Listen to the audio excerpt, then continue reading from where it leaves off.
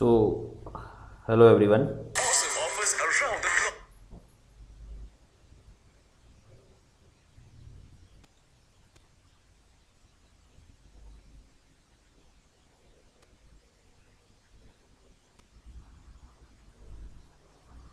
So, welcome back once again. Voice clear है मेरी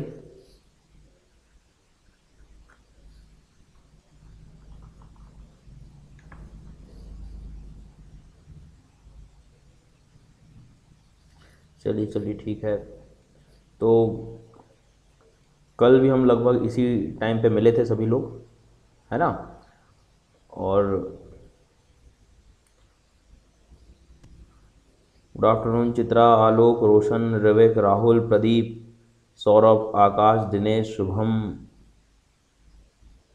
चित्र, इस्लाम, आलोक, आमिर, प्रदीप, काव्या। तेज प्रकाश शुभम। चलिए चलिए। कैसे हैं आप सभी लोग? Hello, Ravi.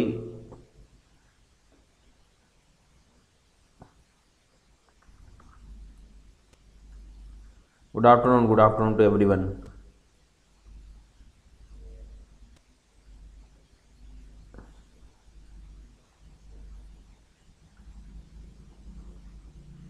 पूरा जोग्राफी हाँ हाँ बिल्कुल करा देंगे पूरा जोग्राफी ठीक है?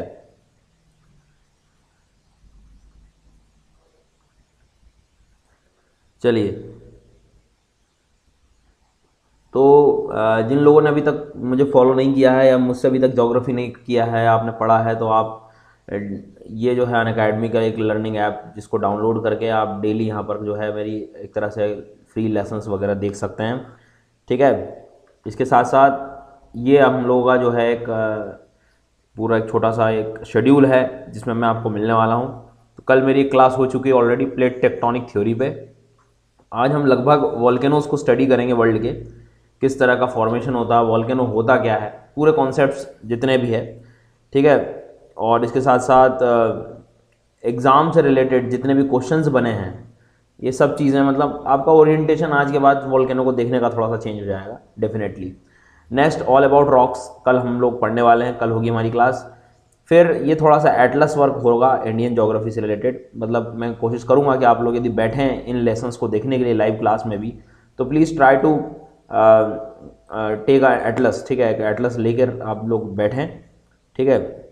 बिल्कुल। सी जी एल आप कोई भी एग्ज़ाम की तैयारी कर रहे हैं, और, ठीक है? जितने भी मतलब इंडिया में जहाँ पर भी जोग्राफी है टॉपिक सिलेबस वहाँ आपको हर जगह काम आने वाला है, ठीक है? चलिए तो शुरू करेंगे हम लोग। तो ये हमारा शेड्यूल रहेगा, अठारह तारीख तक जो है अभी तो मेरी क्लासेस हैं आपके लिए। इसके बाद फिर अगला शेड्यूल जो भी होगा आपको मिल जाएगा, ठीक है? चलिए तो इसके बाद फॉलो नहीं किया है तो आप ज़रूर कर सकते हैं यहाँ पर मुझे फॉलो और एक सबसे अच्छी बात आप लोगों के लिए अन अकेडमी पर if you want to subscribe ठीक है? आपको यदि लाइव क्लासेस यदि जो है एकदम पढ़नी है और इंडिया के कुछ टॉप एजुकेटर्स के साथ तो आप डेली आपके लिए थर्टी प्लस आवर्स के लिए क्लासेस अवेलेबल हैं यहाँ पर। ठीक है काफ़ी कुछ आ, अच्छे ढंग से पढ़ाया जा रहा है यहाँ पर।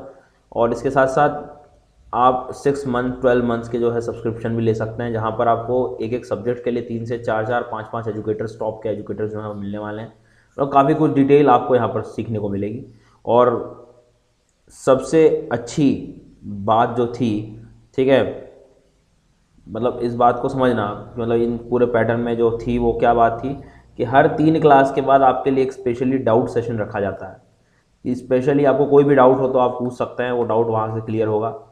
हर वीक में एक वीकली टेस्ट भी होते हैं, फिर मेगा क्विज होते हैं। मतलब काफ़ी कुछ है यदि आप एक प्रॉपर वे में पढ़ना चाह रहे हैं और कम समय में बहुत सारी चीज़ों को सीखना चाह रहे हैं तो आप ये चीज़ जो है अपना सकते हैं। तो बस आपको अपनी कैटेगरी सेलेक्ट करनी है अकेडमी पर प्लस में जाकर और बस सब्सक्रिप्शन लेना। और सब्सक्रिप्शन लेते टाइम टेन परसेंट तक का डिस्काउंट यदि चाहिए आप तो आप गुर्जर एटीन सुड इसको जो है रेफरल कोड को यूज़ करके और आप टेन परसेंट तक का डिस्काउंट ले सकते हैं। ठीक है? चलिए तो शुरू करते हैं हम लोग, हमारा टॉपिक आज का। तो यहाँ पर जो लोग फ्री लर्निंग चाहते हैं तो इसमें भी आप प्रोफ़ाइल पर जाकर अभी इंडियन जोग्राफी शुरू हो चुका है। बिल्कुल बेसिक से हुआ है। ज़ीरो लेवल से, लेकिन उसके पहले भी आप एन ज़रूर देख लीजिएगा सिक्स टू एलेवंथ मैं कह रहा हूँ, एक बार इनको देखिए आप, और फिर उसके बाद आप देखेंगे कि जोग्राफी जो है आपको फील होने लगा है एकदम। और रोज़ शाम को आपको पाँच क्वेश्चंस का एक हाईली यील्ड टॉपिक्स से रिलेटेड आपको एम सी का सेक्शन मिलता है, जहाँ पर आप ये क्वेश्चंस लगा सकते हैं। Twenty five hundred plus M cover होने वाले हैं इसमें। ठीक है? एक एक एक घंटे के भी हम लोग क्लास लेने वाले हैं, जिसमें हम काफ़ी कुछ चीज़ों को पढ़ लेंगे। ठीक है? चलिए। तो शुरू करते हैं ये आपके सामने वर्ल्ड मैप। और इसमें कल जो था, कल काफ़ी कुछ हम लोगों ने डिस्कस किया प्लेट टेक्टोनिक थ्योरी, जो आज जिनकी फ़र्स्ट क्लास है, जो लोग मुझे फ़र्स्ट टाइम यहाँ पर देख रहे हैं, आप ज़रूर इसके पहले वाली क्लास को देख लीजिएगा। उसमें बहुत सारे कॉन्सेप्ट आपके क्लियर हो जाएँगे प्लेट टेक्टोनिक क्या होता है, किसी प्लेस पर वॉल्केनो क्यों आए, ये सब चीज़ें आपको समझ में आ जाएगी। ठीक है? अब आगे चलते हैं हम लोग। अब आपके सामने डायग्राम दिख रहा होगा। इसको थोड़ा ध्यान से समझते हैं हम लोग, ठीक है? समझना आप कल की क्लास में प्लेट टेक्टोनिक में कल क्या सीखा आपने? प्लेट टेक्टोनिक में ये सीखा कि प्लेट्स प्लेट्स मतलब अर्थ का जो क्रस्ट है, जो लिथोस्फेरिक सेक्शन है। लिथोस्फेरिक मीन्स क्या होता है?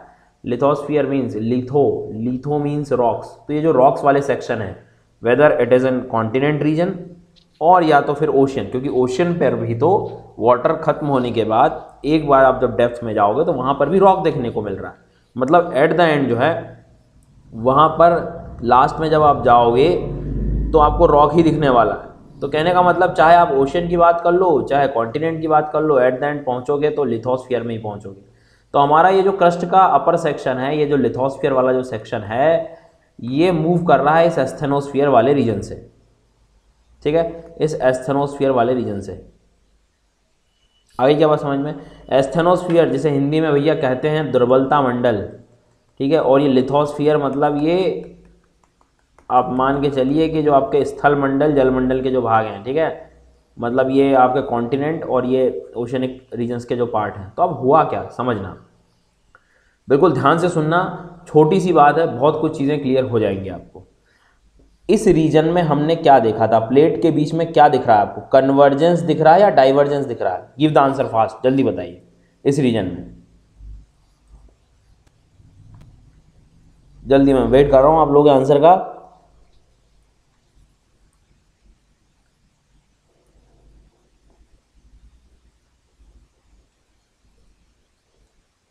हम्म बिल्कुल।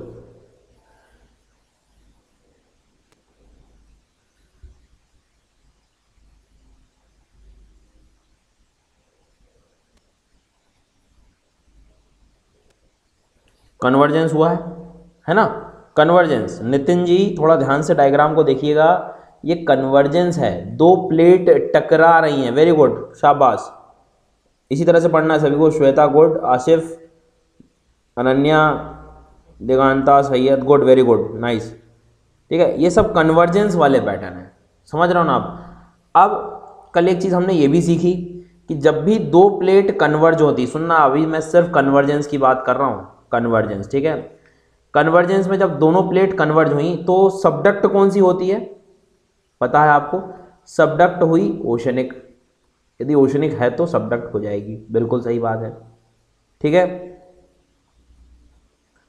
क्लियर हुई क्या बात? अब कन्वर्ज होने के बाद ओशनिक प्लेट ध्यान से देखना सबडक्ट हो गई। ठीक है?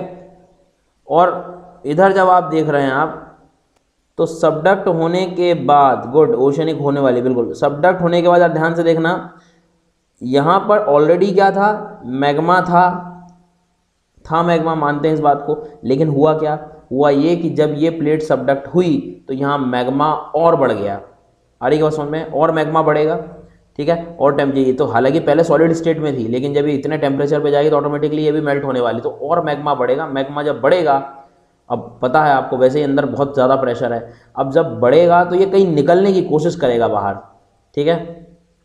सुनना ध्यान से। तो आपको पता है कि यहाँ पर फोल्ड माउंटेन्स तो बने हैं, ये तो पता था कंप्रेशनल फोर्स लग गया था। लेकिन यहाँ पर उसी टाइम आपको क्या देखने को मिला?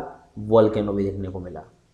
तो एक चीज़ आपको क्लियर है कि ये प्लेट मार्जिन्स जो हैं यहीं पर कुछ ना कुछ वॉल्केनिक एक्टिविटी सबसे ज़्यादा होती है। इसका मतलब यदि मुझे वर्ल्ड में पता लग जाए कि कहाँ कहाँ पर कौन कौन सी प्लेट के मार्जिन हैं, लगभग वो रीजन हमें वॉल्केनो से एसोसिएटेड देखने को मिल जाएँगे।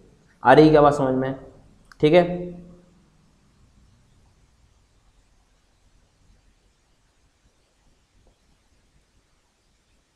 क्लियर हुई क्या बात?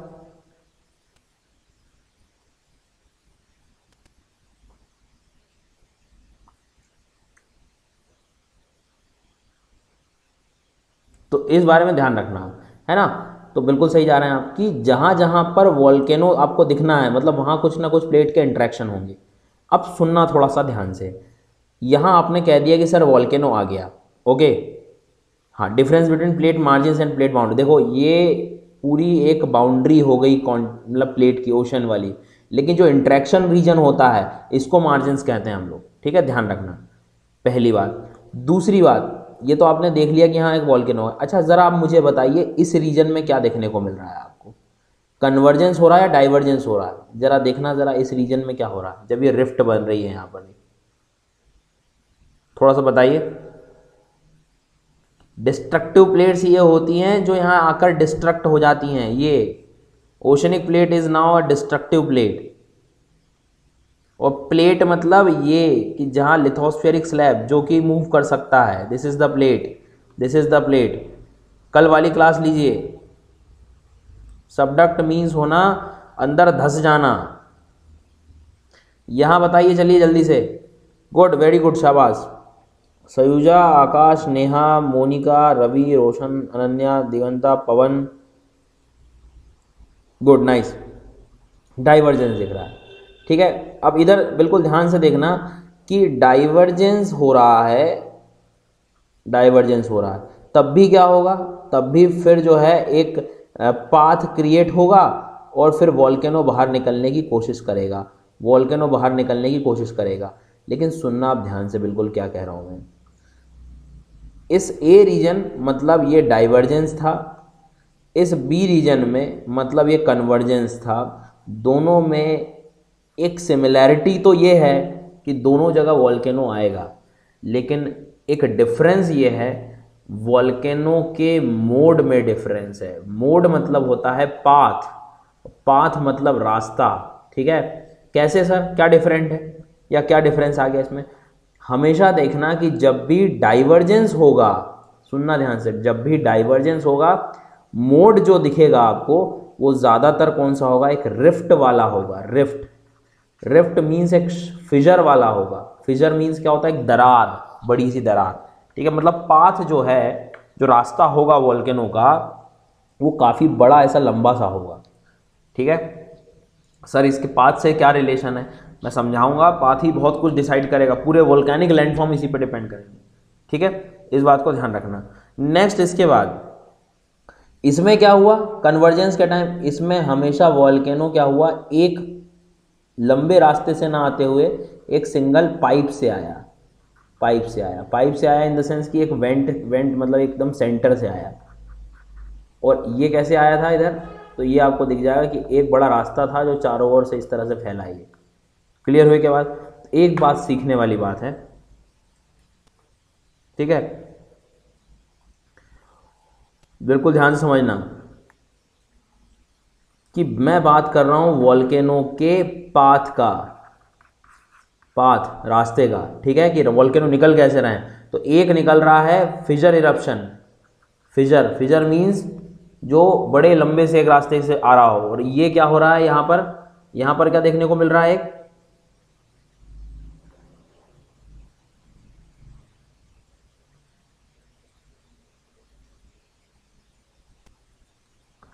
यहाँ पर क्या देखने को मिल रहा है? एक सेंट्रल इरप्शन देखने को मिल रहा है। आ रही बात समझ में?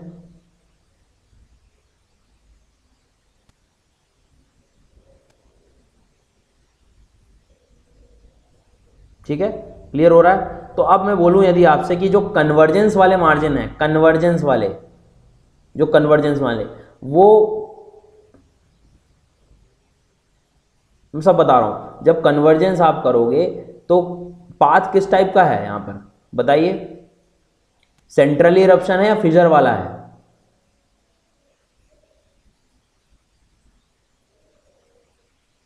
सेंट्रली या फिजर वाला है?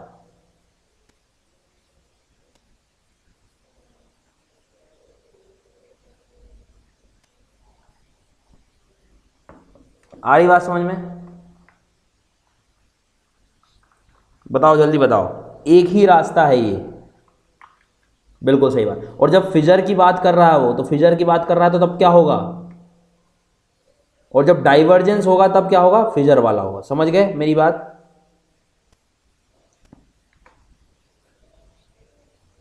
गुड। अब लेकिन सुनिएगा ध्यान से सभी लोग, आपने बहुत अच्छा सभी सेंट्रल कह रहे हैं मतलब इन लोगों को बिल्कुल सही समझ में आ रहा है और सही जा रहे हैं। अब सुनना ध्यान से। ये हमें पता कैसे लगा कि ऐसा हुआ? ध्यान रखना, मैं आपसे क्वेश्चन पूछूँ।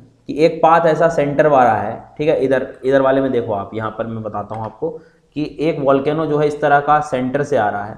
डेफिनेटली जब ये वॉल्केनो नीचे आएगा तो ये डेफिनेटली क्या करेगा? एक माउंटेन की तरह काम करेगा। एक माउंटेन बिल्डिंग हो जाएगी यहाँ पे। मतलब एक वॉल्केनिक कोन देखने को मिलेगा आपको।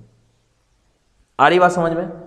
वॉल्केनिक कोन और जब भी वो आपसे बोले फिजर इरप्शन तो फिजर में क्या होता है? दरार में हमेशा माउंटेन बन पाएगा क्या? ऐसे लंबे से रास्ते में कभी माउंटेन बनेगा क्या? सोचो थोड़ा सा। कभी नहीं बनेगा। ये इसमें ऐसे टाइम पे या तो ओशनिक बेड बनते हैं पूरे ओशन का जो पूरा तल होता है, या यदि लैंडमास पे भी इस तरह का होगा तो वो प्लेट्यूज बन जाएँगे वॉल्केनिक प्लेट्यूज ठीक है? तो हमेशा ध्यान रखना एक चीज़ कि जब भी पूछे वॉल्केनो का मोड तो मोड दो टाइप का होता है एक सेंट्रली रप्टेड सेंट्रली इरप्शन होगा और एक फिजर होगा। फिजर मीन्स जिसको हम लोग कहते हैं रिफ्ट ठीक है? या आप कह सकते हो कि एक तरह से फॉल्ट वाले रीजन्स में। आ रही बात समझ में? अच्छा centrally eruption always associated with convergence और डाइवर्जेंस कन्वर्जेंस ठीक है? ये बताया था। ये सब क्वेश्चंस आते हैं प्रीलिम्स में। कन्वर्जेंस कन्वर्जेंस मतलब सर डिस्ट्रक्टिव और कंस्ट्रक्टिव जब कन्वर्ज होते हैं, टकराते हैं तो डिस्ट्रक्शन होता है। ठीक है तो डिस्ट्रक्टिव मार्जिन्स डिस्ट्रक्टिव मार्जिन्स ये किससे रिलेटेड होंगे? डाइवर्जेंस से होंगे. डाइवर्जेंस के बाद ये क्या होंगे? ये कंस्ट्रक्टिव मार्जिन्स होंगे. समझ गए? क्लियर हुई क्या बात? एक चीज़ ये समझना। इसके बाद अब क्या हुआ? कन्वर्जेंस डिस्ट्रक्टिव अब इससे बनेगा क्या? इससे सेंट्रल इरप्शन से आप हमेशा देखना, आपको जो है एक वॉल्केनो देखने को मिलेगा। वॉल्केनो माउंटेन ठीक है? और एक आपको ये ऐसे रीजन्स में आपको यहाँ पर वॉल्केनो देखने को मिलेंगे, ऐसे प्लेट्यूज देखने को मिलेंगे। जैसे आपके डेकन प्लेट्यूज वगैरह बने हुए हैं एक्सटेंसिव जो प्लेट्यूज बन जाते हैं, ठीक है? ये चीज़ ध्यान रखना आप। क्लियर हुई क्या बात? अब सर, मैं कोई पूछ रहा, सर, इसके एग्ज़ाम्पल बता दो। देखो, मैं बताता हूँ आपको। हमेशा सुनना ध्यान से आप। ये प्लेट ओशियन की थी, ये प्लेट कॉन्टिनेंट की थी। ओशियन की कॉन्टिनेंट की ओशियन की कॉन्टिनेंट की। जब टकराई बीच में ओशन तो सबडक्ट हो गया। ओशन सबडक्ट हो गया। अब ओशन सबडक्ट हुआ मतलब क्या? टकराना मतलब क्या? कन्वर्जेंस और कन्वर्जेंस किससे रिलेट रखते हैं? रिलेशन रखते हैं अपना। ये हमेशा रिलेशन रखते हैं। हाँ mid oceanic ridges is also fissure okay convergence जो अपना रिलेशन रखते हैं किससे? सेंट्रल इरप्शन से। और सेंट्रल इरप्शन जब होता है तो क्या बनता है? माउंटेन वॉल्केनिक माउंटेन तो यहाँ याद होगा आपको, इसी रीजन में आपको मिलता है, अर्जेंटीना, चिली के रीजन में ओजस डेल सेलाडो काफ़ी हाइट है इस माउंटेन की। मतलब वोल्केनिक माउंटेन है। इधर चिम्बो राजो, ठीक है? कोटोपैक्सी। ये बहुत बड़े लेवल के मतलब काफ़ी ज़्यादा बड़े माउंटेन सिस्टम्स हैं ये। ठीक है? पूरे जितने भी इधर देखोगे जापान में माउंट फ्यूजियामा देखने को मिलेगा, ठीक है? इधर अंटार्कटिका में, इधर इन रीजन्स में भी देखने को मिलेगा तो एक आपको यहाँ पर इरेबस देखने को मिलेगा। ये पूरा जो सरकम पैसिफिक बेल्ट है, ये कन्वर्जेंस वाला है तो यहाँ पर सब हाइट वाले माउंटेन्स देखने को मिलेंगे ठीक है? आ रही क्या बात समझ में? तो एंडीज तो बन गए आपके फोल्ड माउंटेन लेकिन हर फोल्ड माउंटेन के पास ऑलवेज आपको ज़्यादातर क्या देखने को मिलेगा? वोल्केनिक माउंटेन्स और वो सब किस तरह के इरप्शन होंगे? सेंट्रल इरप्शन ध्यान रखना इस बात को, ठीक है? अब किसी के दिमाग, अभी तो ये बात हो गई यहाँ तक। अब आप कहोगे, सर डाइवर्जेंस का कोई एग्ज़ाम्पल दे दीजिए। ये डाइवर्जेंस का ये तो डाइवर्जेंस में हमने देखा है कि अब जब आप यहाँ जाओगे इसमें अटलांटिक रीजन में तो एल्फ्रेड वैगनर ने याद हो आपको कहा था कि पूरे कॉन्टिनेंट आपस में लगे हुए थे, ये इससे मिला हुआ था। लेकिन आज नहीं है, ये दूर हो गए दूर हो गए तो कौन बन गया बीच में? ओशंस बन गए। ओशन बन गए मतलब यहाँ मिड ओशनिक रिजेस बनी हुई हैं। Mid oceanic ridges mid oceanic ridges क्या होती हैं? ये चीज़ देखो आप। फॉर एग्ज़ाम्पल यहाँ पर आपको देखने को मिल जाएगा कि ये चीज़ें यहाँ पर डाइवर्ज हुई हैं और यहाँ से धीरे धीरे मैग्मा बाहर आया है, ठंडा हुआ है और एक नए ओशन का क्रस्ट का फॉर्मेशन होता चला गया है। ठीक है? तो जब भी मिड ओशनिक रिजस कहो या प्लेट्यूज कहो, ये सब किस किससे बनेंगे ये? तो ये सब divergence divergence means fissure eruption से बनेंगे। क्लियर हो रहा है जो मैं कह रहा हूँ? एटलीस्ट उन लोगों को जो शुरू से क्लास देख रहे हैं और जिन्होंने कल वाली मेरी क्लास ली थी। जो लोग नए हैं, जिन्हें थोड़ा कम समझ में आए, मैं बता रहा हूँ, इसके पहले क्लास हो चुकी है प्लेट टेक्टोनिक मूवमेंट उसको देखें, उसके बाद इस क्लास को देखिएगा आपको बहुत कुछ चीज़ें क्लियर हो जाएँगी। ठीक है? इस बारे में ध्यान रखना। तो यहाँ तक क्लियर हाँ ग्रेट रिफ्ट वैली भी इसी के एग्ज़ाम्पल होंगे, बिल्कुल सही बात है। ठीक है? अफ्रीका का जो रीजन है, अफ्रीका का जब रीजन आप देखते हो तो एक ग्रेट रिफ्ट वैली वाले रीजन्स आपको यही पर देखने को समझ में आएगा यहाँ पर। ये ये रीजन्स ग्रेट वैली ये मतलब यहाँ पर आपको डाइवर्जेंस देखने को मिला है। तो जब डाइवर्जेंस होता है तो पहले तो क्या होता है कि थोड़े थोड़े लेक्स बन जाते हैं, फिर रिवर्स बन जाती हैं, फिर सी बन जाता है पूरा। ठीक है? चलिए गुड गुड अब अब आगे चलते हैं थोड़ा सा हम लोग। आगे चलने के बाद अब अब आपको मैं थोड़ा सा एक छोटा सा लॉजिक बता रहा हूँ। उससे आपको कम से कम आज के बाद आप जब वॉल्केनो देखोगे तो आपको हर चीज़ क्लियर हो जाएगी, चल क्या रहा है अब सुनना ध्यान से। अब होता क्या है? ड्यूरिंग वॉल्केनो ड्यूरिंग वॉल्केनो हम देखते हैं कि सबसे इंपॉर्टेंट जो चीज़ देखते हैं हम लोग, वो क्या होता है? लावा बाहर आता है है ना? लावा का इरप्शन होता है।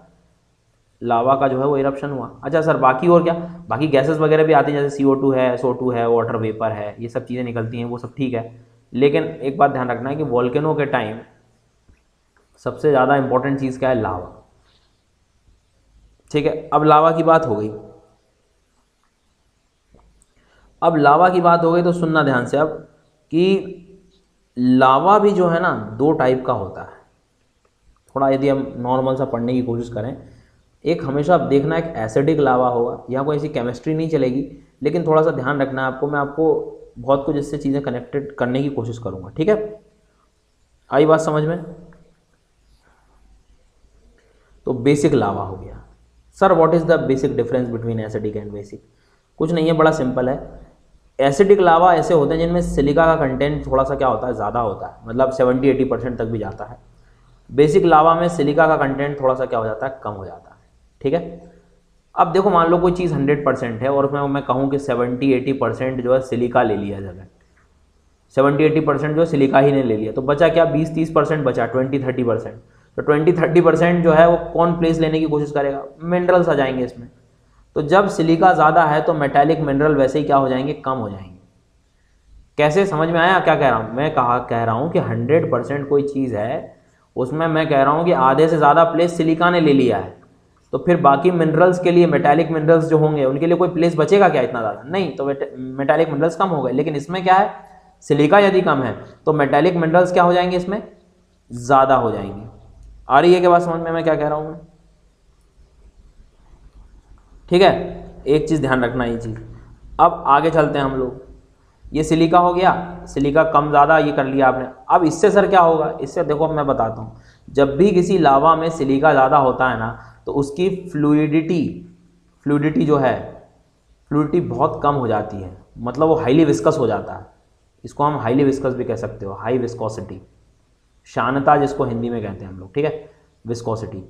तो फ्लूडिटी क्या हो गई? कम हो गई। किसकी? फ्लूडिटी किसकी कम हो गई? एसिडिक लावा की। ध्यान रखना। आगे बात समझ में? और बेसिक लावा की फ्लूडिटी क्या हो जाएगी फिर? बहुत ज़्यादा हो जाएगी। सुनना ध्यान से। क्लियर हुई क्या बात? यहाँ तक समझ में आया? फिर से फिर से। देखो एसिडिक लावा जो था, उसमें मिनरल्स क्या थे? कम थे। और फ्लूडिटी क्या हो गई थी? ज़्यादा। कि कम? कम। कंफ्यूज मत होना, बिल्कुल भी। ठीक है? फ्लूडिटी कम है मिनरल्स भी कम है। और बेसिक लावा में मिनरल्स ज़्यादा थे मेटेलिक मिनरल्स और फ्लूडिटी फ्लूडिटी भी क्या थी? बहुत ज़्यादा थी। मतलब एक बात क्लियर है कि एसिडिक टाइप के जो लावाज होते हैं, वो इतने ज़्यादा फ्लो नहीं कर पाएँगे। मतलब ज़्यादा डिस्टेंस कवर नहीं कर पाएँगे, सुनना ध्यान से। और ज़्यादा डिस्टेंस कौन कवर करेगा? बेसिक लावा करेगा। समझ गए यहाँ तक। अब आपके सामने मैं दो डायग्राम रख रहा हूँ, ठीक है? दो डायग्राम बिल्कुल ध्यान से देखना। अभी आपको चीज़ें बहुत क्लियर होने वाली हैं आगे जाके।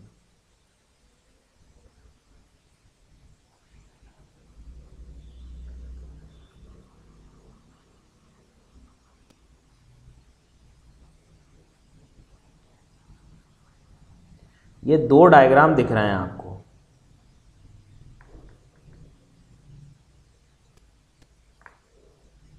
ठीक है? आ रही बात समझ में?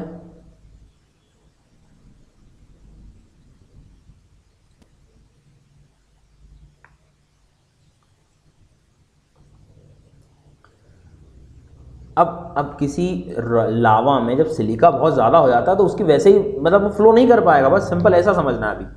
और बेसिक में जब जब सिलिका नहीं है तो वो ऑटोमेटिकली बहुत ज़्यादा, और टेम्परेचर भी बहुत ज़्यादा होता है मतलब इसमें।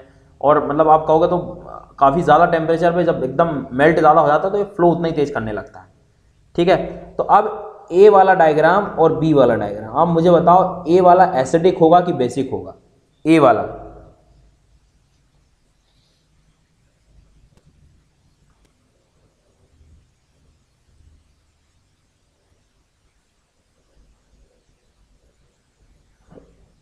बताइए ए वाला जो होगा वो क्या होगा? Good first one is acidic and second one is basic very good शाबाश गुड श्वेता कौशलेंद्र अंकित नेहा रवि रंजन आसिफ मोनिका गीतांजलि अनन्या निखिल राघव रश्मि चंदन ये एसिडिक होगा. एसिडिक क्यों होगा? एसिडिक की फ्लूडिटी क्या है? कम है। निकलेगा लेकिन ये वहीं का, वहीं पर एक्यूमुलेट होता चला जाएगा। वहीं पर एक्यूमुलेट होता चला जाएगा, वहीं पर एक्यूमुलेट होता चला जाएगा, इस तरह से। ठीक है? ये सब एसिडिक है। क्योंकि फ्लूडिटी है ही नहीं। बिल्कुल सही बात है। और मैं आपसे कहूँ कि बेसिक में क्या हो रहा है? ये कौन जो है वॉल्केनिक कौन, ये जनरली जो है, उतना ही फैलेगा क्योंकि लावा बहुत फैल रहा है, यहाँ पर फ्लूडिटी बहुत ज़्यादा है। तो अब मुझे बताओ, दोनों में से एसिड लावा कौन कौन और बेसिक लावा कौन में से हाइट किसकी ज़्यादा रहेगी, किस कौन की ज़्यादा रहेगी? वीडियो ऑलरेडी अपलोडेड है, Vikas please check that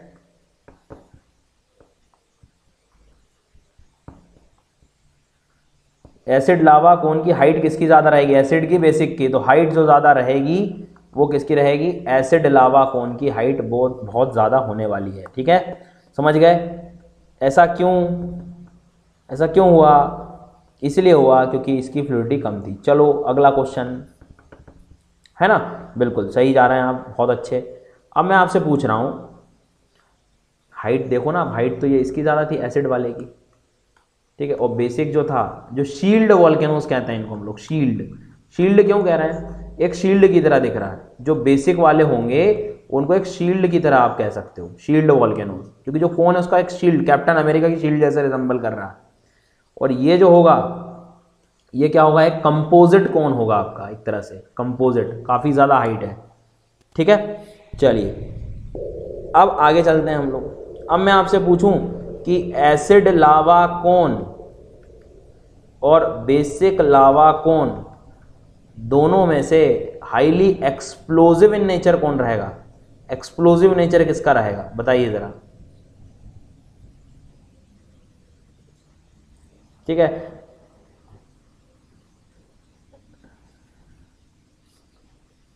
देखो, ये जो थे आपको, ऐसे तो आपको कहाँ मिलेंगे? जब कन्वर्जेंस होता है ना प्लेट में, ठीक है?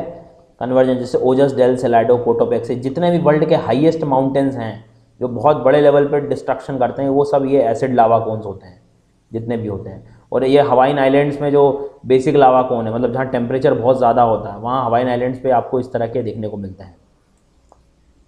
भैया एक्सप्लोजिव एसिड लावा कौन होगा? एक्सप्लोजिव जो होगा, वो एसिड लावा कौन होगा, जिसकी हाइट बहुत ज़्यादा है। क्यों? क्योंकि वैसे ही फ्लूडिटी नहीं है बार बार इस पाथ को चोक करने की कोशिश करेगा वो। जैसे मान लो कम बह रहा तो यही तुरंत जो है सॉलिडिफाई हो जाएगा, फिर प्रेशर इंक्रीज होगा अंदर, और फिर नेक्स्ट टाइम जब बड़े लेवल पे इसमें इरप्शन होगा तो हो सकता है कि जो इसका माउथ है, जिसके माउथ को क्या कहते हैं हम लोग? क्या बोलते हैं? क्रेटर बोलते हैं, क्रेटर। क्रेटर बोला जाता है। वो क्रेटर टूट के कैल्डेरा बन जाता है। काफ़ी बड़े माउथ हो जाते हैं ठीक है? नहीं, बेसिक लावा कैसे एक्सप्लोजिव रहेगा? नहीं। बेसिक लावा नहीं रहेगा, ध्यान रखना। बेसिक लावा में तो कभी प्रॉब्लम ही नहीं होने वाली। बड़ी आसानी से बह जाएगा ये। प्रॉब्लम उसमें होगी एसिडिक में। एसिडिक में, क्योंकि ये बार बार निकल नहीं पाएगा इतनी आसानी से तो इस पाथ को चोक कर देगा। चोक करने से ये अंदर प्रेशर इंक्रीज हो जाएगा। समझ गए? ध्यान रखना। नहीं, ऐसे मेटालिक मिनरल से भी मत बनाना। एसिडिक इज़ हाईली एक्सप्लोजिव और यदि आपसे कोई पूछे, कोई पूछ ले यदि आपसे कि हाइट किसकी ज़्यादा होगी तो एसिडिक की ज़्यादा होगी। एक्सप्लोजन किसका ज़्यादा होगा तो एसिडिक का होगा। एक्सप्लोजन के बाद जो मतलब कब काफ़ी ज़्यादा अर्थ कोई कौन लेकर आएगा बड़े लेवल पे तो ये यही ले आते हैं कभी कभी तो जो है एसिडिक वाले जो होते हैं। ठीक है? तो वर्ल्ड में, अब देखो इधर ध्यान से सुनना, अक्सर यही होता है कि जब भी कन्वर्जेंस के टाइम पे ये अचानक जब निकलते हैं तो काफ़ी प्रेशर से निकलते हैं। तो एसिड लावा कौन बनाते हैं यहाँ पर? ठीक है, जैसे ओजस, डेल, सेलाडो वगैरह ये। इधर आओगे तो हॉटस्पॉट वॉल्केनोज जो हैं, हॉटस्पॉट मतलब क्या होता है? कल भी बताया था मैंने, जो बिल्कुल बहुत ही ज़्यादा मेंटल प्लूम्स की तरह होते हैं जहाँ पर सबसे ज़्यादा टेम्परेचर होता है। तो यहाँ पर आपको जैसे हवाई आइलैंड्स वगैरह पे यहाँ पर बेसिक लावा निकल सकता है। ठीक है? चलिए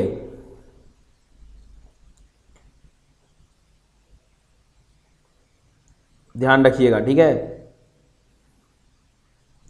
गुड तो इस बात को थोड़ा सा ध्यान रखें आप, क्योंकि अब अब एक बात बिल्कुल क्लियर कर ली आप लोगों ने कि on the basis of lava lava से आप चीज़ों को समझ सकते हो। देखो, एक दो इमेजेस दिखाता हूँ मैं आपको। ये डायग्राम जो आपको दिख रहा होगा, ये वाला जो डायग्राम दिख रहा है, ये डेफिनेटली क्या है ये? ये किस टाइप का कोन होगा ये? ये कंपोजिट कोन्स हैं। और कंपोजिट कोन में क्या होता है अक्सर समझना।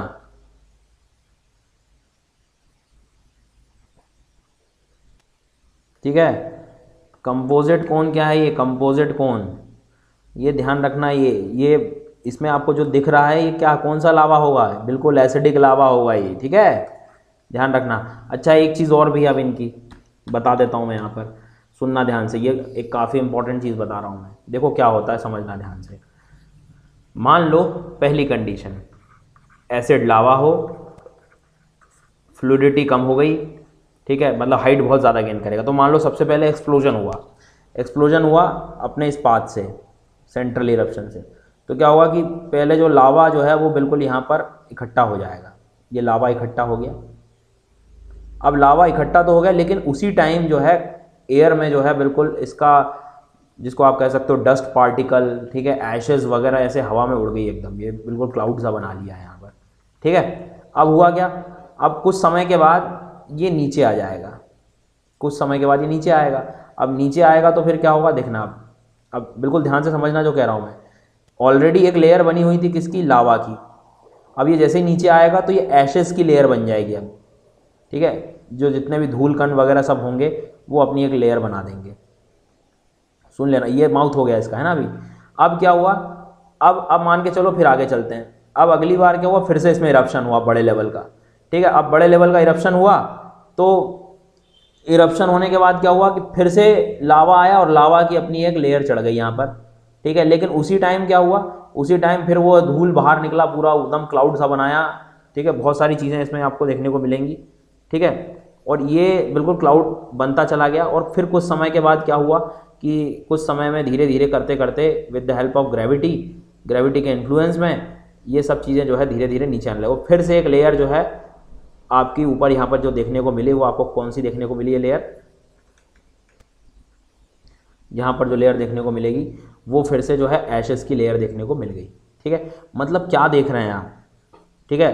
अब अब इसमें देखा आपने तो अल्टरनेट पैटर्न चल रहा है। जब जब इरप्शन होगा, पहले लावा की लेयर पहले लावा की लेयर फिर एशेस तो लावा ऐश लावा ऐश लावा मतलब ऐसे वॉल्केनोज को हम लोग स्ट्रेटो वॉल्केनो भी कहते हैं. स्ट्रेटो मीन्स होता है लेयर स्ट्रेटा ठीक है? तो ये स्ट्रेटो वॉल्केनो भी होगा ये, जिसमें अल्टरनेट लेयर्स आपको देखने को मिलेंगी.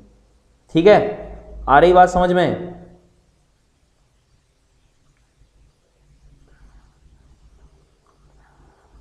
लेयर्स तो वो तो डिपेंड करेगा.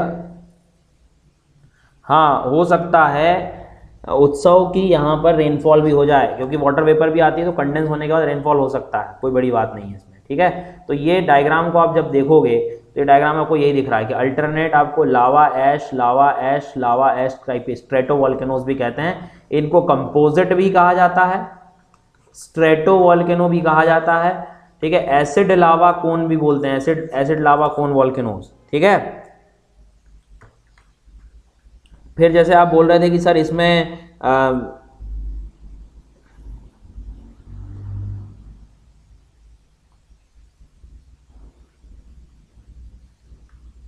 ठीक है। इस इस डायग्राम को देखो आप थोड़ा ध्यान से देखना ठीक है? मैं ये कह रहा हूँ कि जब ये इरप्शन हुआ इरप्शन हुआ तो पहले लावा की लेयर आ गई है पूरा लावा फैल गया। लेकिन जब इरप्शन जब होता है तो उसी टाइम पे क्या होता है कि इसका पूरा क्लाउड मतलब पूरे डस्ट पार्टिकल वगैरह ये भी हवा में उड़ेंगे। लेकिन उस समय, थोड़े समय के बाद क्या हुआ कि एक टाइम के बाद धीरे धीरे आप देख रहे हो कि धीरे धीरे ये फिर नीचे आएगा। तो इसके ऊपर अब लावा के ऊपर किसकी लेयर चढ़ जाएगी? पूरी एशेस की, धूल वगैरह की सब यहाँ पे डस्ट पार्टिकल वगैरह सब हो जाएँगे, ठीक है? पहले नीचे लावा लगा हुआ है, अब एशेज आ गए। अब मान लो कुछ सालों बाद फिर से इरप्शन होता है। कुछ सालों में क्या हुआ? फिर से इरप्शन हुआ। फिर से इरप्शन होगा तो क्या हुआ? अब लावा लावा इतना पूरा लावा उड़ तो ही जाएगा ऊपर। तो वो धीरे से यहीं पर पहले एक्यूमुलेट हो गया। इधर एक्यूमुलेट हो गया, ठीक है? एक लेयर फिर से लावा की बन गई। अब लावा की लेयर बन गई। अब फिर मान लो उसी टाइम जब इरप्शन हुआ था, तब ये पूरा डस्ट पार्टिकल भी क्लाउड वगैरह ऊपर बना होगा धीरे धीरे पूरे डस्ट पार्टिकल ऊपर उड़ गए। फिर वो नीचे आया धीरे धीरे तो इस लावा की लेयर के बाद पूरा ऐश ऐश की लेयर हो गई फिर से, ठीक है? फिर से पूरी ब्लैक लेयर हो जाएगी ठीक है? मतलब इसको आप ऐसा भी मान सकते हो, ये। ये फिर से पूरी एक ब्लैक लेयर मतलब किसकी हो गई है? ये एशेस की। तो कहने का मतलब ये कि अल्टरनेट पैटर्न चल रहा है इसका। तो जब आप पूरे उसको वॉल्केनो को देखते हो तो आपको इस तरह का पूरा एक लेयर बाय लेयर फॉर्मेशन देखने को मिलता है कि पहले पूरी लावा की लेयर फिर ऐश की लेयर फिर लावा फिर ऐश ये अल्टरनेट पैटर्न्स दिखाता है। ठीक है अब? हाँ तो ऐसे वॉल्केनोज को हम लोग क्या कह रहे हैं? स्ट्रेटो वॉल्केनो भी बोलने लगते हैं। ठीक है? तो ये जो लावा है अक्सर, कौन सा था? एसिडिक लावा था। एसिड लावा सर कैसे पता लग गया देख के? ये। तो ये देखो ना, आप दो डायग्राम दिख रहे हैं। आप तो इस डायग्राम को देखिए बिल्कुल अच्छे से। ये डायग्राम देख रहे हो तो ये क्या देखने को मिल रहा है? इसमें एसिड यूज़ हुआ होगा और ये बेसिक लावा, ये शील्ड कौन जनरली आपको देखने को मिलेगा, ठीक है? तो इस बारे में ध्यान रखना। फिर अभी आप कह रहे थे, सर, कंडेंस होगा कि नहीं? तो कभी कभी जब कंडेंस होता है ना, तब ये लहर्स बन जाते हैं। इनको हम लहर्स कहते हैं, ठीक है? लहर वर्ड को थोड़ा सा ध्यान रखना, काफ़ी इंपॉर्टेंट वर्ड है लहर। ठीक है, लहर्स क्या होता है?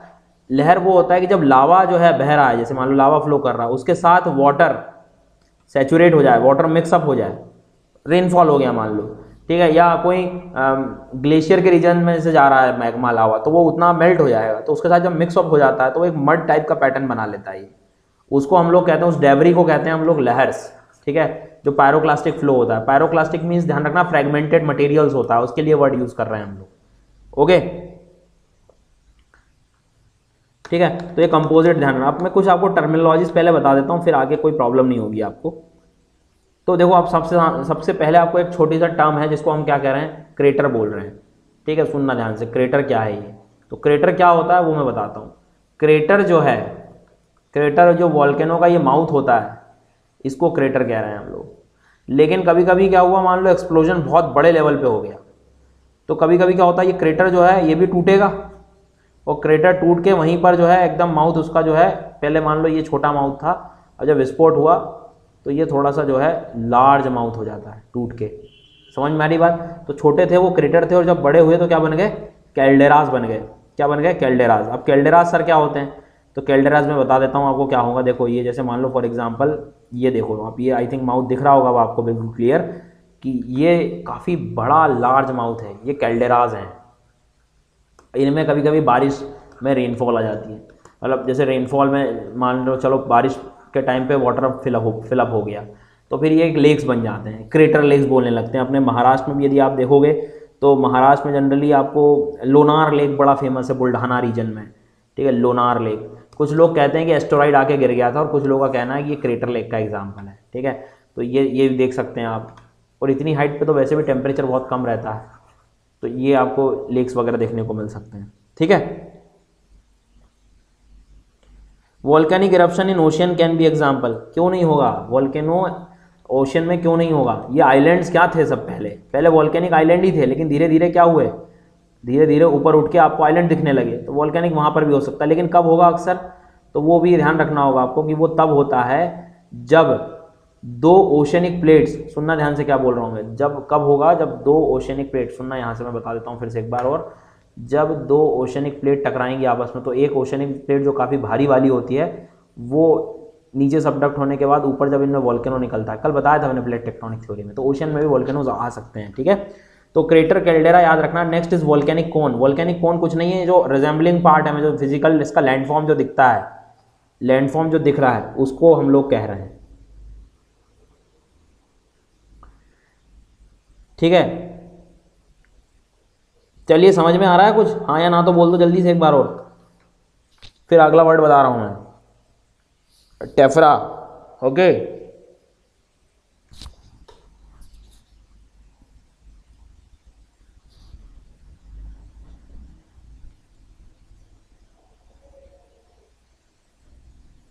ये भैया हिंदी में ज्वालामुखी शंकु कहते हैं इसको हम लोग, शंकु। ठीक है? क्रेटर कैल्डेरा कोई हिंदी नहीं, इनका सीधा ऐसा लिख देते हैं ये लोग बुक्स में। क्रेटर कैल्डेरा बस। ठीक है? कोई दिक्कत हो, कोई हिंदी मीडियम का विद्यार्थी हो तो पूछ सकता है, मैं मतलब आपको बता दूँगा उस चीज़। हाँ ठीक है ठीक है ठीक है। चलिए तो अब आता है next word is tephra tephra ये सब प्रिलिम्स वगैरह के हैं और ये जो एसएससी वगैरह सी डी एस एन सब जगह ये काम आते हैं ऐसे वर्ड टेफ्रा क्या है? कुछ नहीं है। Tephra cinder. Composite volcano sir ocean में फॉर्म हो सकता है क्या नहीं होगा उत्सव? बिल्कुल हो सकता है, जब दो ओशनिक प्लेट यदि कन्वर्ज हो जाती हैं आपस में तो फिर तो सेंट्रली इरप्शन से ज़्यादातर आपको वही चीज़ देखने को मिलेगी, ठीक है? यदि प्रेशर बहुत ज़्यादा है तो। ठीक है? चलो, अब मैं बात कर रहा था टेफरा। देखो, टेफरा सिंडर की तरह ही होता है। सर, ये क्या होता है? सेंडर टेपरा कुछ नहीं है। जब वॉल्केनो निकलता है ना तो जो धूल वगैरह जब ऊपर उठती है, ठीक है? जो फ्रेगमेंटेड रॉक्स ऊपर उठ जाते हैं, इनको सबको हम लोग मिलाकर जो है fragmented rock particles ejected during volcanic eruption ये टूटे छोटी मोटी चट्टाने वगैरह जो है, इनको सबको मिला के एक वर्ड बोल दिया हमने, टेफ्रा। ठीक है? तो इस बात को थोड़ा सा ध्यान रखें। टेफ्रा वर्ड बोला है इसको हमने। फ्रेगमेंटेड रॉक्स जो हैं, जैसे ये ये देखो ना आप मैं बता रहा हूँ इधर आपको और क्लियर आपको दिख जाएगा यहाँ पे। ये ये जो, ये उड़े हुए, ये सब दिख रहे हैं आपको? ये ये सब जब आएँगे तो टेफरा की तरह काम करेंगे। क्लिस किस क्लास का है ये? आपको हर लेवल का, इसमें आप यूपीएससी से आप स्टार्ट कर सकते हैं, हर लेवल का क्वेश्चंस मैंने यहाँ पर बताए हैं। ठीक है? चलो भाई, एक स्टेटमेंट बोल रहा हूँ, उसके बाद फिर ये आगे का पढ़ेंगे सुनना ध्यान से। एक स्टेटमेंट बोल रहा हूँ कि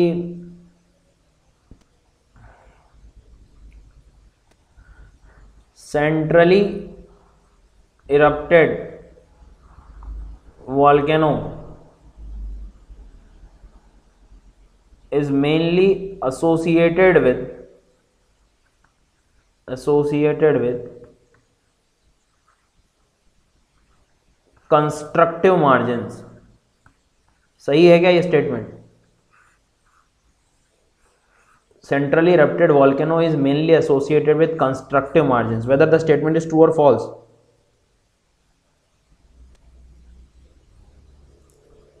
हिंदी मीडियम में यदि हो ध्यान रखना, जो केंद्रीय उद्भेदन होता है, केंद्र से जब ज्वालामुखी निकलता है तो वो क्या संरचनात्मक किनारों से संबंध होता है क्या उनका? ऐसा बोल रहे हैं वो। गुड अनु श्वेता मोनिका सयोज अनन्या रवि आसिफ चंदन सत्यम कोमल नेहा अश्विनी गुड ये भैया फॉल्स है। है ना? क्या होना चाहिए इसको यदि मुझे सही करना है तो? क्या होगा? Central erupted volcanoes is mainly associated with क्या लिखूं मैं यहाँ पर? क्या लिखूं? जल्दी बताओ।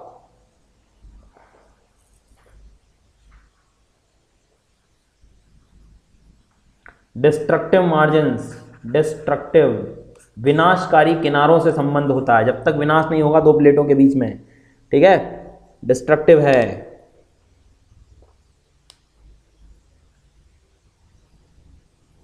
चलिए good bye very good nice ठीक है?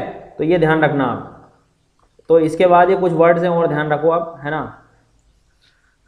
तो वॉल्केनिक कोन्स पढ़ लिया आपने, जो वॉल्केनो के ऊपर ये कोन्स बनते हैं एसिड कोन बेसिक कोन किसकी हाइट कम रहती है तो बेसिक कौन की हाइट कम रहती है देखा हमने शील्ड टाइप के जो होते हैं। लहर्स लहर्स आपको पता है डेब्री फ्लो जो हो रहा है वॉल्केनिक मटेरियल का सेचूरेटेड विद वाटर ये बताया था मैंने आपको। एसिड लावा कौन में कोई प्रॉब्लम नहीं होगी। एसिड लावा कौन मतलब जब कौन जब लावा किस टाइप का हो एसिड का हो तो वो आपको हाइट वाला काफ़ी देखने को मिलेगा। वॉल्केनिक प्लग आपके लिए हो सकता है, एक नया वर्ड हो वट इज़ वॉल्केनिक प्लग तो ध्यान रखना। वॉल्केनिक प्लग जो होता है, वो लावा फिल्ड पाइप जो है आपका। लावा फिल्ड पाइप जैसे मान लो ये जो वेंट है ये जब कुछ समय के बाद जब इसमें इरप्शन रुक जाएगा, ठीक है, सुनना ध्यान से इरप्शन जब रुक जाएगा तो ये जो लावा फिल्ड पाइप है, इसको वॉल्केनिक प्लग नेक स्पाइन ये बोलते हैं, ठीक है, ऐसे वर्ड्स याद रखना। अगले उसमें चलते हैं हम लोग। अब मोड ऑफ़ इरप्शन समझ गए। अब यदि हम टाइप ऑफ़ आए पीरियोडिसिटी पे, देखो अब तक जो पढ़ रहे थे ना हम लोग मोड के बारे में बात कर रहे थे mode mode of eruption mode of eruption मतलब आपने देखा कि सर सेंट्रल इरप्टेड थे और फिजर इरप्टेड थे। अब मैं कह रहा हूँ पीरियोडिसिटी ऑफ़ इरप्शन से के कारण भी आप वैसे भी पढ़ सकते हो उसको पीरियोडिसिटी से। पीरियोडिसिटी से पढ़ सकते हो मतलब सर क्या होगा? बता रहा हूँ, दो मिनट रुकिएगा। इस डायग्राम को मैं यहाँ समझाता हूँ तो क्लियर होगा। तो वॉल्केनो वॉल्केनो को पढ़ने के दो तरीके। On the basis of mode of eruption ठीक है? और on the basis of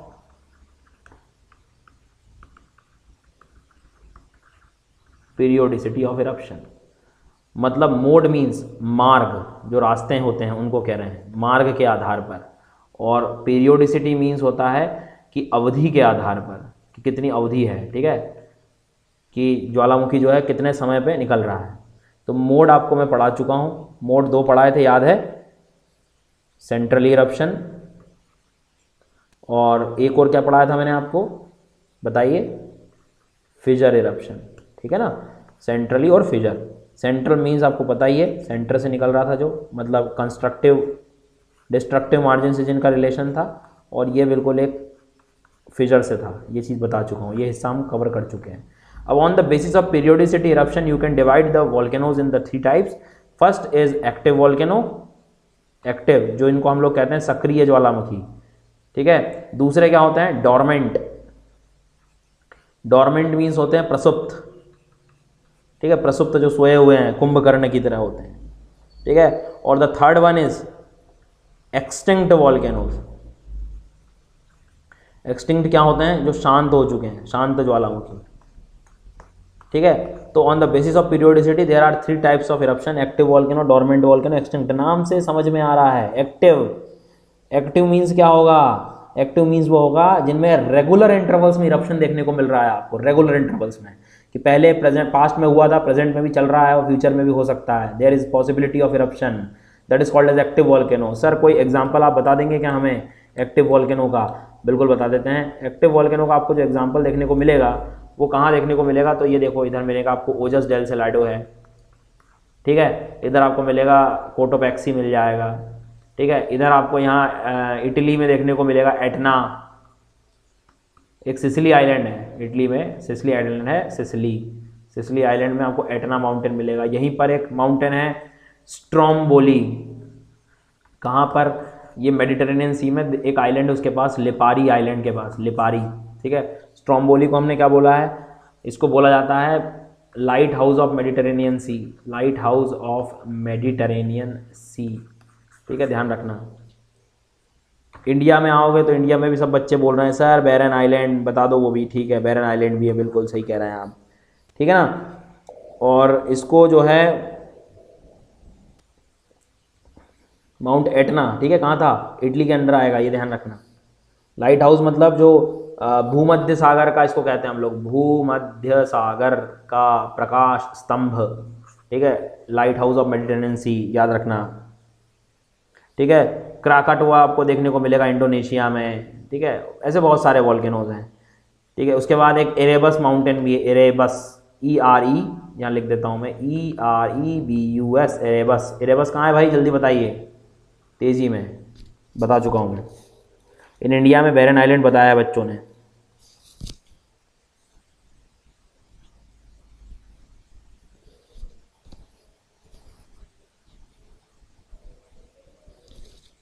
good. Fujiyama Fujiyama dormant की कैटेगरी में आ गया है, अब काफ़ी दिनों पहले हुआ था इसमें। भाई नॉरकॉन्डम जो ये मिलेगा आपको, ये भी डॉर्मेंट में कैटेगरी में आने लगा है, ठीक है? तो एरेबस बताइए, एरेबस कहाँ है?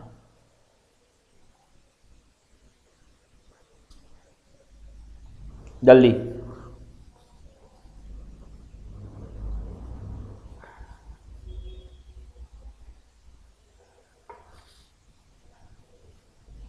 बिल्कुल सही जा रहे हैं। गुड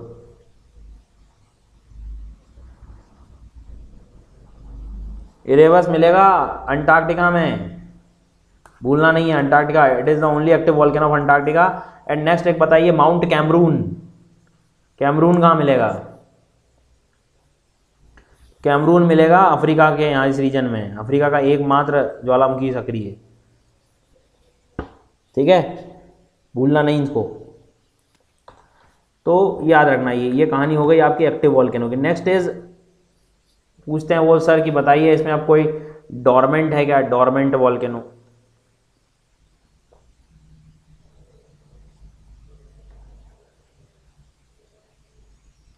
डॉर्मेंट वॉल्केनो है क्या? तो ध्यान रखना डॉर्मेंट में डॉर्मेंट में एक अच्छा डॉर्मेंट होते क्या है तो आपको पता है। डॉर्मेंट यदि आप इधर स्केल पे आओगे तो ये पास्ट है, मान लो, ये प्रेजेंट है और ये फ्यूचर है। तो काफ़ी पास्ट में पहले ये हुआ करते थे। मतलब वॉल्केनो हुआ था, तभी तो इसको वॉल्केनो कह ही रहा हूँ मैं। लेकिन प्रेजेंट में काफ़ी दिनों से इनमें इरप्शन देखा नहीं गया है, ठीक है? सोए हुए हैं। It's like a Kumbhakarna. सो रहे हैं अभी। और पर इनका भरोसा नहीं है। कभी भी वो जो है इरप्शन दिखा सकते हैं अपना। ठीक है? तो याद रखना, ये चीज़ तो ऐसे वॉल्केनो जैसे फ्यूजियामा जो है, कहाँ पर है फ्यूजियामा जापान में है ठीक है ना? एक इटली में आपको वेसुवियस देखने को मिलेगा वेसुवियस इटली में वेसुवियस नेपल्स के पास में ठीक है? आई थिंक मेरे पास आ, उसका इमेज होना चाहिए।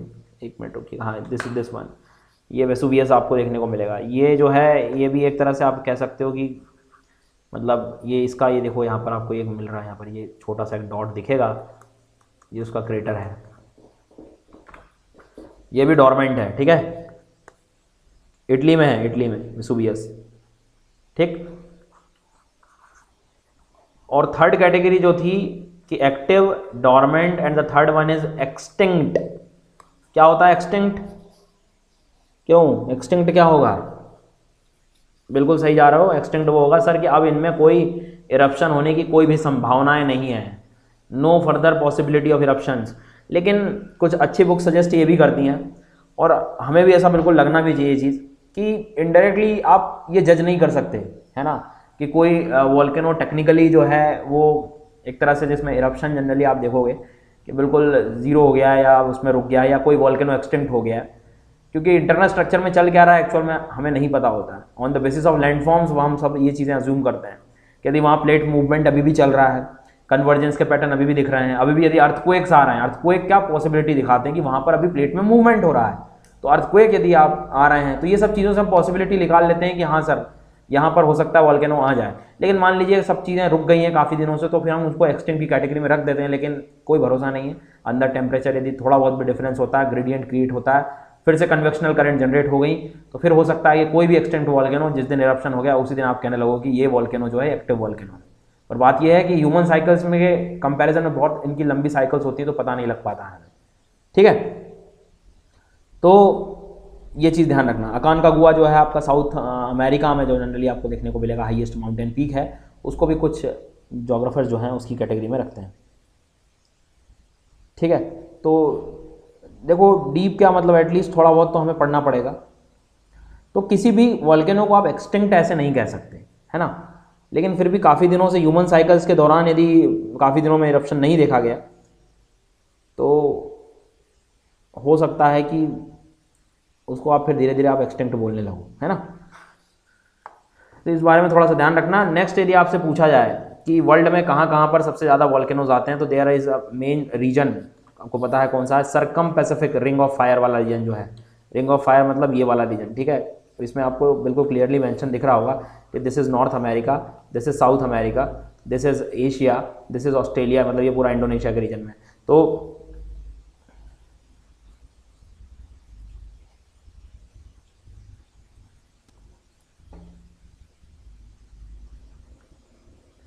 ठीक है? हाँ तो ये पैसिफिक ओशन में आपको पता था कि इन रीजन्स में कन्वर्जेंस बहुत चल रहा है प्लेट के बीच में। कन्वर्जेंस कन्वर्जेंस तो कन्वर्जेंस में आपको पता है कि एक प्लेट सब्डक्ट होती जाए वॉल्केनो वहाँ पर देखने को मिलेगा ही आपको। तो ये रीजन में आपको काफ़ी कुछ वॉल्केनोज देखने को मिलते हैं और एक ये रिंग की तरह है। और फॉर द वॉल्केनो आप ये कह सकते हो कि मोस्ट ऑफ़ द वॉल्केनोज इसी रीजन में देखने को मिलते हैं। तो इसको हम रिंग ऑफ़ फायर कह रहे हैं। फायर मतलब वही वॉल्केनो से रिलेटेड है लावा से रिलेटेड है। तो कभी क्वेश्चन आ जाए ring of fire is associated with which या आप पूछ सकते हैं ओशन के बारे में पूछ लें तो आपको आंसर देना है पैसिफिक ओशन ठीक है कौन कौन से कॉन्टिनेंट से रिलेशन है? तो एटलीस्ट आप मेन तीन तो बता ही सकते हो कि जो भाई एशिया है नॉर्थ अमेरिका है साउथ अमेरिका है। ठीक है, ये सब चीज़ें। इसके साथ साथ और भी है क्या सर रीजन हाँ तो मिड कॉन्टिनेंटल बेल्ट भी है। मिड कॉन्टिनेंटल बेल्ट मतलब कि आपका इटली अफ्रीका के रीजन्स को कवर किया है। और यही बेल्ट सीधा इधर से आते हुए इंडिया से आते हुए, अंडमान निकोबार से आते हुए इंडोनेशिया से आते हुए कनेक्ट हो जाता है इसमें रिंग ऑफ़ फायर में।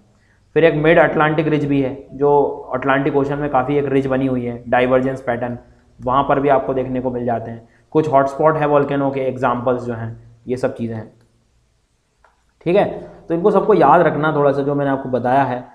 काफ़ी कुछ चीज़ें जो हैं, इनमें हम लोग को सीखनी है और अच्छा तो ध्यान रखना वॉल्केनो में। तो एट द एंड यदि आप वॉल्केनो पे आते हैं तो वॉल्केनो को आप फाइनली मतलब काफ़ी कुछ उससे देख सकते हैं कि on the basis of periodicity of eruption तीन टाइप से आपने डिवाइड किया। माउथ की बात करोगे तो कितने माउथ थे? याद है कि भूल गए? दो थे। उससे आपको एटलीस्ट स्ट्रक्चर देखकर समझ में आ जाएगा।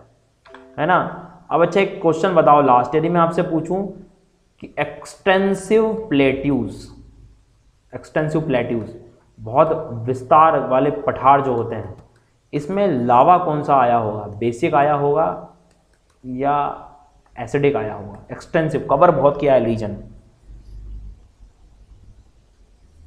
बताइए। हाँ बिल्कुल लगभग सेम है।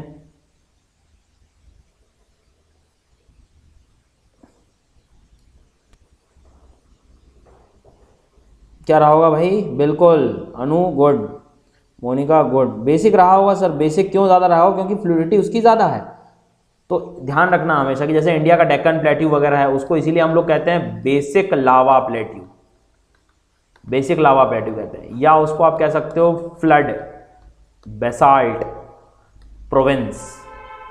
Flood, basalt province क्या होता है? फ्लड मीन्स काफ़ी बड़े फ्लड में आया हुआ। बेसाल्ट मीन्स क्या होता है? बेसाल्ट इज़ ए रॉक और वो रॉक किससे बना है? डायरेक्ट बेसिक से बना है। बेसिक लावा से जो रॉक बनता है, उसको बेसाल्ट रॉक कहते हैं। काफ़ी हैवी रॉक होता है मिनरल्स ज़्यादा होते हैं डार्क होता है ओशियन में जो रॉक होता है वो बेसाल्ट होता है, ठीक है, ये सब चीज़ें, है ना? तो फ्लड वेसाल्ट प्रोविंस भी कह सकते हो। तो और इसके बाद फिर यही रॉक जब सेडिमेंट बनता है तो फिर वो सॉइल बनती है, आपको पता ही है कौन सी सॉइल बनेगी यहाँ पे ब्लैक कॉटन सॉइल है कि नहीं? चलिए, ठीक है। तो ये काफ़ी कुछ टॉपिक था इंपॉर्टेंट एटलीस्ट आपको इतना समझ में आ गया होगा होप कि भाई आपको कोई दिक्कत ना हो इसमें, ठीक है? एटलीस्ट आप जब आप सेल्फ स्टडी भी करोगे तो आपको बहुत कुछ समझ में आ जाएगा। हाँ बिल्कुल Deccan plateau is a basic basic region रहेगा। ठीक है? तो उम्मीद कर रहा हूँ कि काफ़ी कुछ समझ में आया होगा। जो नए बच्चे हैं, जो आज फ़र्स्ट टाइम लिए हैं, इसके कल वाली क्लास भी देख सकते हैं। अन अकेडमी के इसी यूट्यूब चैनल पर अपलोडेड है वो। प्लेट टेक्टोनिक से ढूंढना होगा आपको। ठीक है?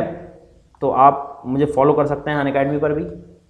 अन अकेडमी पर भी। और यहाँ पर भी सर्च कर सकते हैं सुदर्शन गुर्जर के नाम से। तो आपको मेरा एक चैनल भी मिल जाएगा आपको। ठीक है? ये सब चीज़ें हैं। इसके साथ साथ एक चीज़ और भी ध्यान रखना। सबसे इंपॉर्टेंट बात सबसे इंपॉर्टेंट आपको क्या देखना है? यहाँ पर, अन पर जो सब्सक्रिप्शन मॉडल है, ठीक है? यहाँ पर जब आप देखेंगे तो आपको रोज़ लाइव क्लास मिलेगी लाइव क्लास ठीक है? और बस सब्सक्राइब करना है आपको सिक्स टू ट्वेल्व मंथ के लिए। क्लियर हुई क्या बात?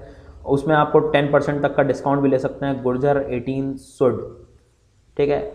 तो यहाँ पर आपको सब्सक्रिप्शन जाकर, अन प्लस पर जाकर लेना है, ठीक है?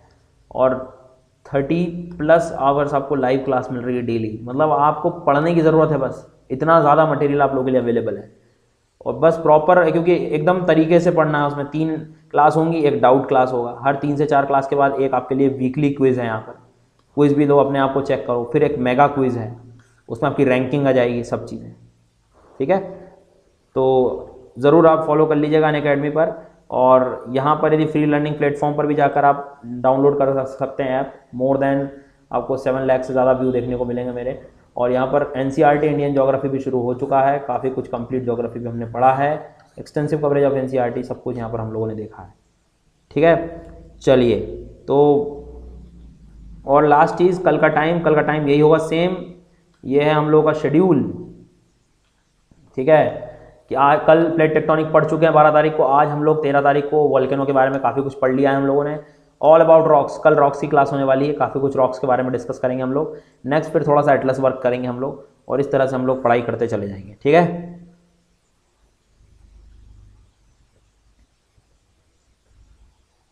तो कुछ भी डाउट हो, आप मुझसे पूछ लेना और भी। ठीक है? तो पढ़ते रहो, बढ़ते रहो इसी तरह से।